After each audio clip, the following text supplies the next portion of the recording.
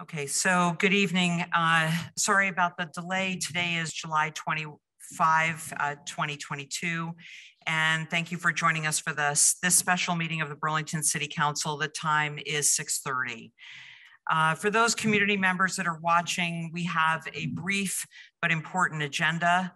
Um, And this is how the order will go. After calling the meeting to order and adopting our agenda, we'll have an executive session regarding the BPOA contract.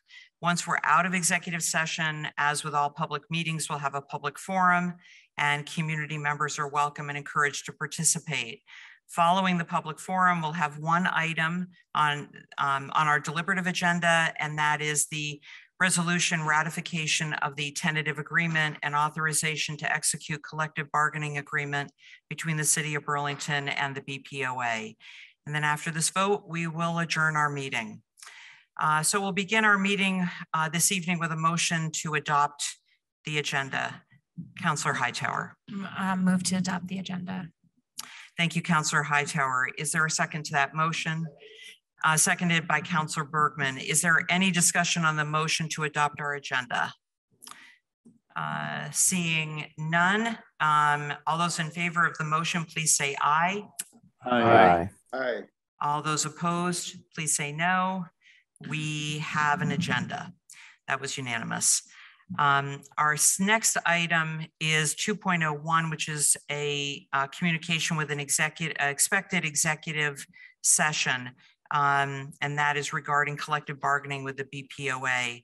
Uh, Before we go, we, before we make motions to go into executive session, um, usually look to the administration or council if they feel that there's any way, if there's anything that you wanted to say to the public by way of an update or any information. Okay, thank you. So with that, we'll go into the first motion to go into executive session. Uh, Counselor Carpenter.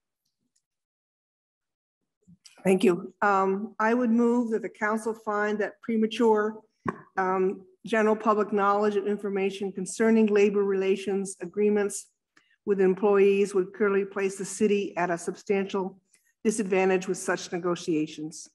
Thank you, Counselor Carpenter. Um, uh, se- is a second to that motion, seconded by Counselor Barlow. Um, is there any discussion on the motion?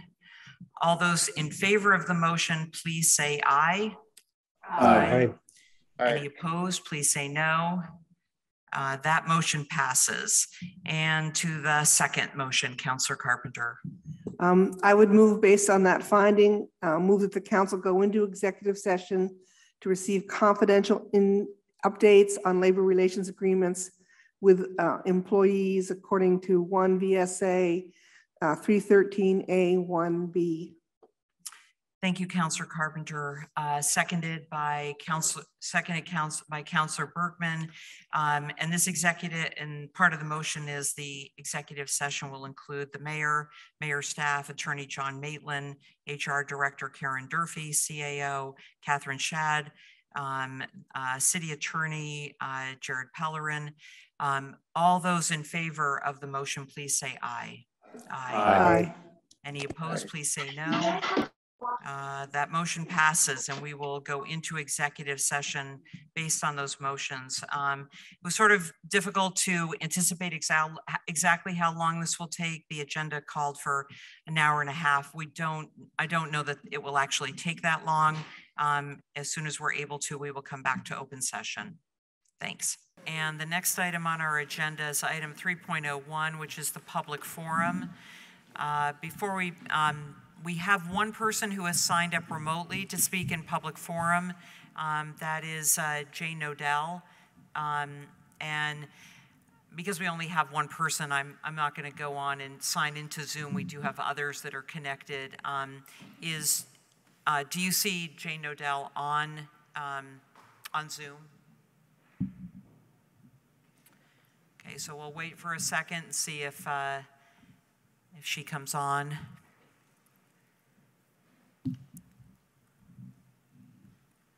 And there are no speakers in Contois. So going once, uh, going twice, um, doesn't appear as though Uh, Jane is on Zoom. So we'll close uh, the public forum at 7:20, and uh, we will go on to our deliberative agenda. There's only one item on the deliberative agenda. It's item 4.01, which is a resolution ratification of the tentative agreement and authorization to execute the collective bargaining agreement between the City of Burlington and the BPOA, July 1, 2022 to June 30, 2025. Um, If I could have a motion on that, Counselor Shannon. Thank you, President Paul. I move to waive the reading and adopt the resolution and ask for the floor back briefly after a second. Great, thanks. Thank you, Counselor Shannon. Is there a second to that motion? Uh, Seconded by Counselor Barlow. Uh, Counselor Shannon, you have the floor. Thank you, President Paul. Um, I just want to briefly thank our negotiating team, um, including uh, our HR Director Karen Durfee, our CAO Katherine Schad, City Attorney Jared Pellerin, the mayor, and especially John Maitland, who really led this charge, and I think um, really moved this in the direction that the citizens of Burlington, as well as the city council, have been hoping to go in. Um, I just want to know, I also want to thank the BPOA for um, their cooperation uh, in our efforts to make changes and, uh, and move issues forward for the benefit of Burlingtonians.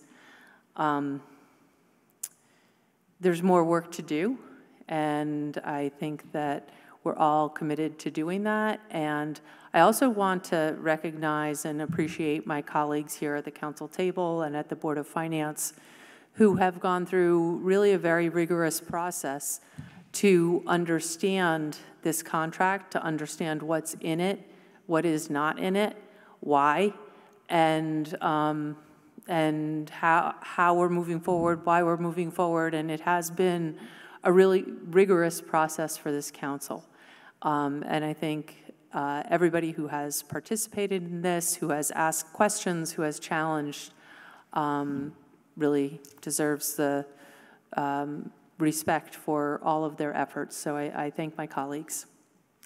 Thank you, Counselor Shannon. Are there other counselors uh, that wish to? Counselor Hightower. Great, yes. Thank you also to our bargaining team. Um, I think that, of course, this contract doesn't include everything that I want. I hear that's the way negotiating is supposed to work. Um, but I think more importantly, maybe it doesn't have everything that we need to, to restore community trust. So I'm personally committing to this being the start of something, as Councillor Bergman um, has said many times, and committing to doing more work and also working, um, especially with the administration and HR Director Karen Durfee and her um, capable um, next steps in making sure that that that work is also done. Thank you. Thank you, Counselor Hightower. Counselor Bergman. Well, I, I want to add my, uh, my voice to the thanks to, uh, of course, the BPOA who negotiated in good faith, but to our team who spent hours with me. And uh, I appreciate the work from the mayor down, well, and all, not down, but down, on to all the other people who uh, spent some, some time with me because uh, we've got a function which is not a rubber stamp. And so um, I'm appreciative of taking the hours that we did to make sure that I could make sure that I was not just rubber stamping something. I think that this process reveals that we still have work to do with the process itself. And I have communicated that and the details on that uh, uh, going forward. Uh, and I believe that I have gotten the commitment of the, uh, the administration to do that. I believe that this process was better than in years past, so I want to acknowledge that. I, I do not think it was good enough. And I believe that we can and we will do better. Um, I also believe that, as Councillor Hightower said, that there is a commitment to continuing the hard work. This is a long march that we are on. And this is one step on that. And I have heard from the administration a, um, a willingness to, to walk with us um, on that. And we did not get everything that we asked for, of course, that is bargaining, um, as well as the political nature of uh, political bodies like ours. So um, I, I, I, look forward to the next uh, few years because this is just one piece of public safety and, you know, the, the public safety questions hang over us tonight, as I think all of us are aware of. My, my ward has gotten hit significantly in the last, uh, last couple of weeks. My neighborhood, you know, where I pass like every day, um, has been hit hard. So, you know, this contract is a piece but it is only one piece of the transformation that we need to make. Um, let, let, me just, I mean, I, I, got a laundry list, but I won't go through it. I just want to say that we have gun control legislation that the people of Burlington passed overwhelmingly and has been languishing in the State House. Some things that may have, I don't know the, the details in terms of the domestic violence uh, incident, but that, you know, that should help in those, and they are languishing. We need our partners to, to, to stand with us to protect the people of Burlington, to protect people of the state of Vermont. Um, I look forward to working with the administration. I look forward to working with the BPOA. I look forward to working with all you so that we can do this complex work It, no silver bullets to use a bad metaphor, but, uh, but it's really true. And I um, will be voting yes on this contract. Thank you, Councillor Bergman. I see Councillor Magee. Please go ahead. Thank you, President Paul. And I just want to extend my thanks as well to the, the bargaining team. Um, this is not a perfect contract by any stretch, but uh, we have made some progress. And uh, I'm certainly committed to making sure that uh, we move forward um, with the other CNA recommendations that we have yet to address that um, are very important and that um, uh, we need to move forward on quickly. So um, I'm committed to doing that work over the next several months and um, hope to find willing partners and the acting chief and the BPOA and the administration to ensure that we're making these changes to restore uh, trust within the community. Thank you. Thank you, Councillor Magee. Are there any other councillors? Uh, Councillor Freeman, please go ahead. Thank you, President Paul. I just wanted to speak quickly. I think I may likely be the only no vote tonight. Um, so I just wanted to speak quick, quickly on that. Um, you know, I can't go into um, specifics at this point, but um, I agree with uh, other counselors' points around there being some um, discernible improvements with the contract. I think there are just um, some points that don't meet the threshold.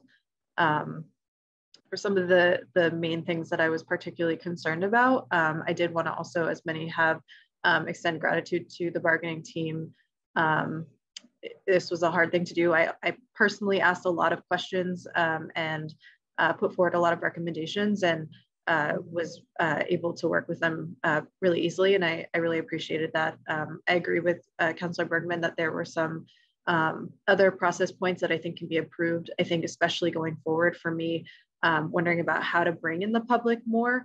Um, I think that was something that um, became very evident towards, um, you know, sort of this last final um, stretch of it is, you know, how, how do we actually get feedback um, in real time, um, given that um, it's, it's really an, the complications around it being a, an executive bargaining process. So uh, that was just something that I was trying to think about and uh, wondering about how to be creative about going forward.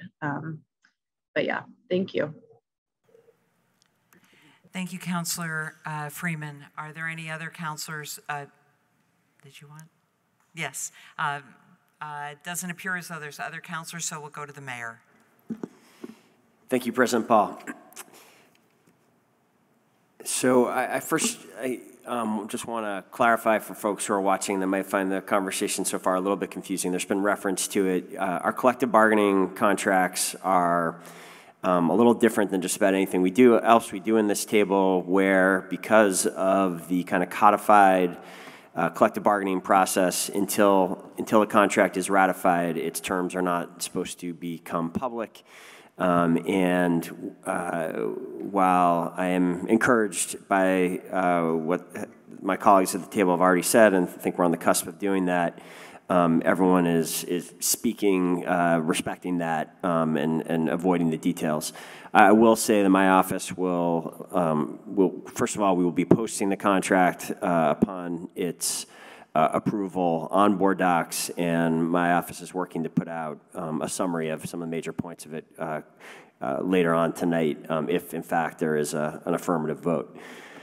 Um, it's long been a uh, real priority of this administration to attempt to negotiate our collective bargaining contracts at the at the bargaining table, get resolution at, of them there as opposed to having contracts resolved through uh, a binding arbitration process, which is a right that our um, that the city has, is a right that our our uh, bargaining units have, um, but it's one that we have really sought to um, avoid. Um, I do believe uh, many past uh, contracts were resolved this way. It's sort of before my time. I can't speak to the details, but I'll say um, if this contract is approved tonight, it will be the 11th straight contract spanning three different um, bargaining sessions um, where we've been able to, uh, to, to, to, achieve that goal, to get to a, uh, a negotiated outcome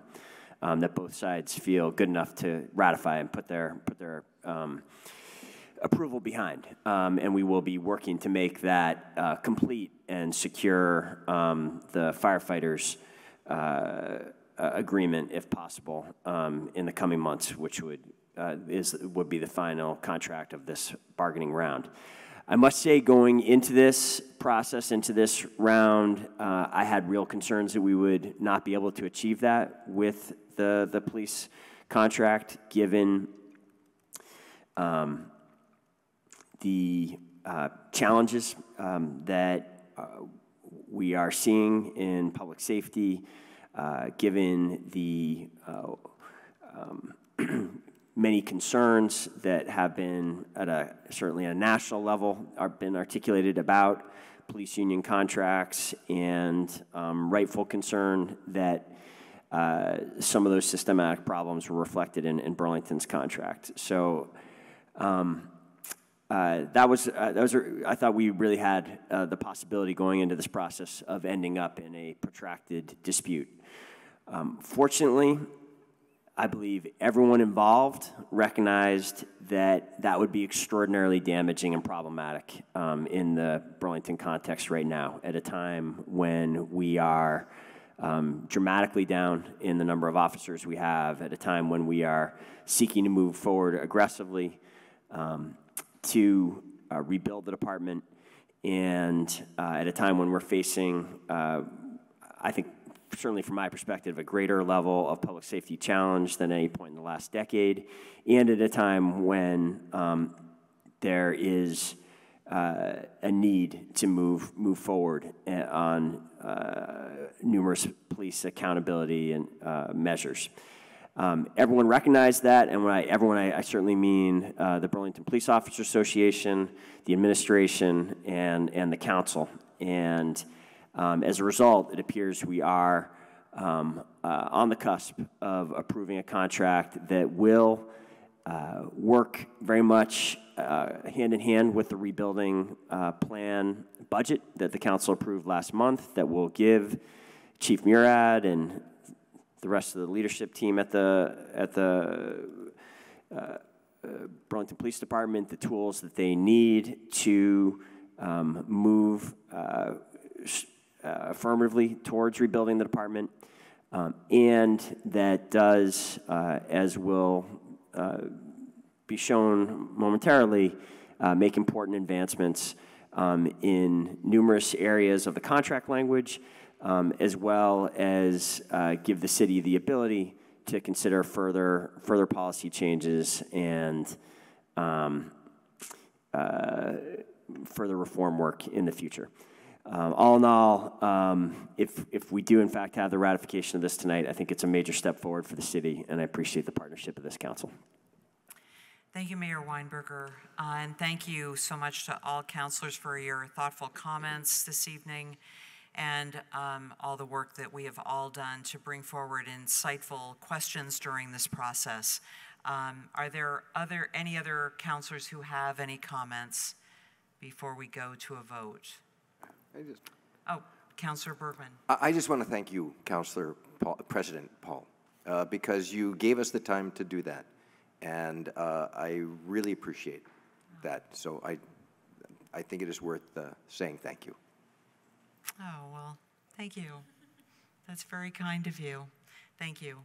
Um, Seeing no other comments, uh, we have a motion, we have a second, so we'll go to a vote. And just once again, the motion is to ratify the tentative agreement and the authorization to execute the collective bargaining agreement between the City of Burlington and the BPOA for the next three years, um, starting, well, actually, starting on July 1 of 2022 and going to June 30 of 2025.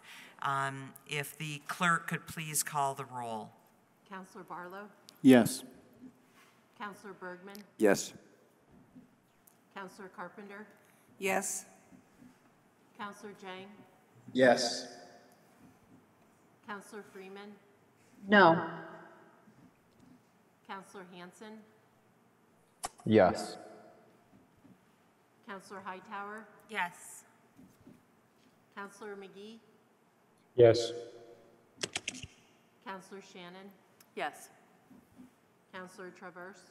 Yes. City Council President Paul? Yes. 10 ayes, one nay, one absent. So the motion passes. Um, Would like to, I'd also like to add my thanks to the city bargaining team and the BPOA for their bargaining efforts resulting in this three-year contract.